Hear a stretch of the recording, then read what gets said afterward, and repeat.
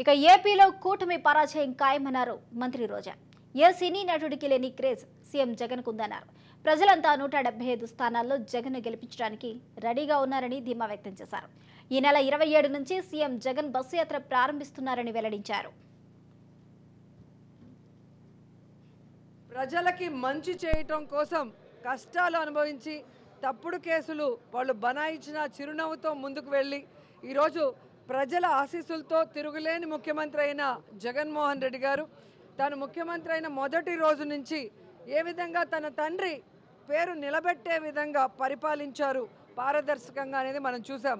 అందుకే ఈరోజు జగన్మోహన్ రెడ్డి గారు నేను మీ కుటుంబానికి మంచి చేశానని నమ్మితేనే నా కోటేయండి అని దమ్మున్న నాయకుడిగా అడగటం జరిగింది.